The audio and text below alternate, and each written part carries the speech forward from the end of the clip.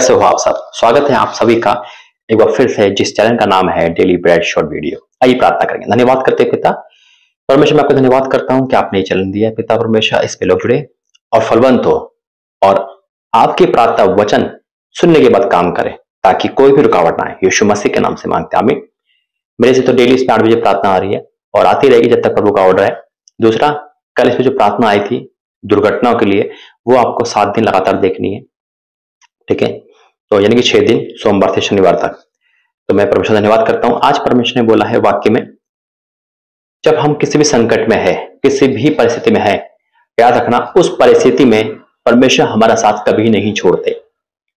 लगता है हमें, लगता है हमें कि हमारा साथ परमेश्वर छोड़ दिया है, हमें त्याग दिया है, या अब हम पे संकट आने वाला है, शायद हम मर जाएँगे बीमारी में। लेकिन उसके बावजूद भी परमेश्वर हमें सहायता करते हैं।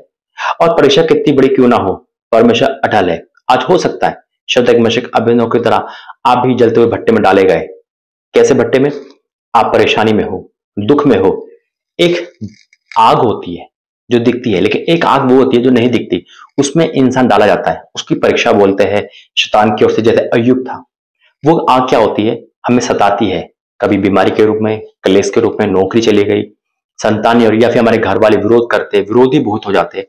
इन सब में हम पढ़े तो हम जलते हैं। हमारे पे ब्लेसिंग नहीं आ रही, लोग ब्लेस हो रहे हैं तो शैतान हमें क्या जलाता है? लेकिन इस जलन से भी परमेश्वर में निकालता है। आज वही टॉपिक है कि परमेश्वर आपको जलने नहीं देगा। हाल लिया आइए प्रार्थना करेंगे वचन के लिए। धन्यवाद करते पिता। आज का वचन, सबके जीवन में काम करे और आज इनको जलते हुए आग से भट्टे से बाहर निकालना। यीशु मसीह के नाम से मांगते हैं। आमीन। हन्ना थी, वो भी जल रही थी। क्यों? संतान नहीं हो रही, ये नहीं हो रहा। लोग ताने से जलते हैं, यानी कि जल एक आग में डल जाते हैं जीती जी जलना। शतान की ओर से जलता है, परीक्षा कैसे भी जले, इंसान जल रहा है शताब से जल रहा है। परमेश्वर हमें उस भट्टे से आज बाहर निकालेगा, आज आप बाहर निकालोगे। परमेश्वर आज आपको हाथ पकड़ के बाहर निकालेंगे, और याद रखना, जिस आग में आप जल रहे हो, उसमें भी मेरा परमेश्वर उपस्थिति है यीशु मसीह है वहाँ पर। तभी तो परमेश्वर में नष्ट होने से बचाता है। पर वचन दिया है डैलियन तीन अध्याय। हम सब जानते हैं डैनियल तीन अध्याय में शतक मशक अभिनवों के लिए।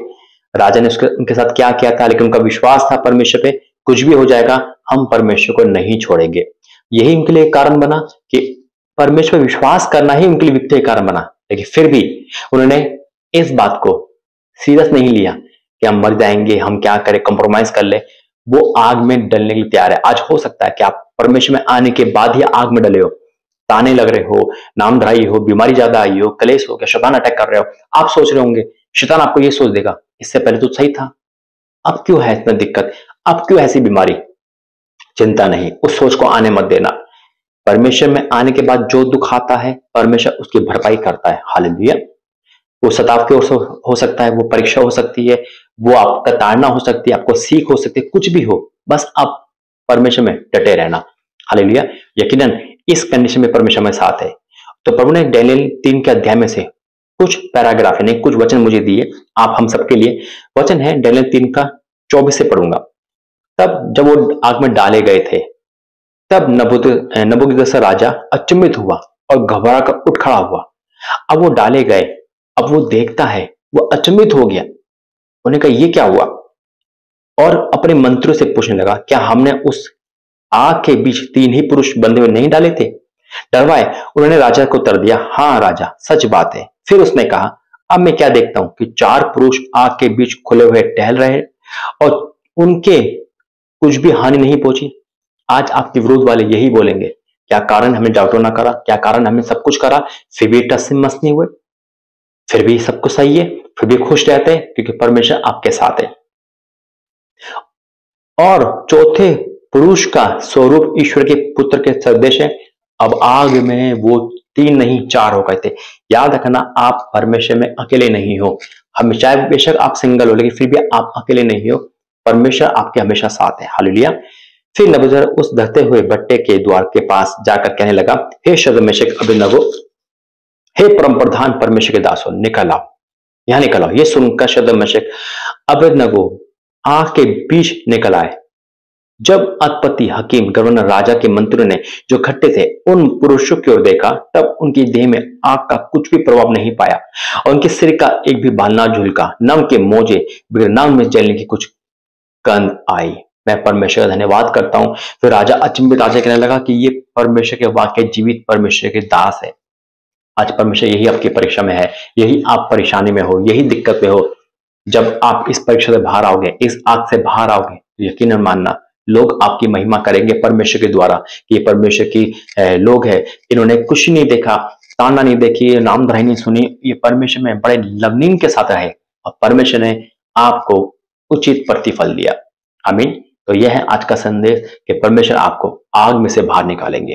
तो आज आप आग में से बाहर निकल रहे हो। हर वो आग जो आपके आसपास लगी हुई है, आपके मन में लगी हुई है, परमेश्वर आपके साथ है, बाहर निकालेंगे। आइए प्रार्थना करें। धन्यवाद करते पिता। जैसा आपने शद मशकों को अब आग में से निकाला, आज वही आग इनमें लगी है। नामदराई की, बीमारी की, कर्जे की, परेशानी की, ये उस कुएँ में है, उस भट्टे में है, जहाँ आग याग जल रही है। लेकिन तेरे तुझे मानना नहीं छोड़ते, प्रार्थना करना, वचन पढ़ना नहीं छोड़ते।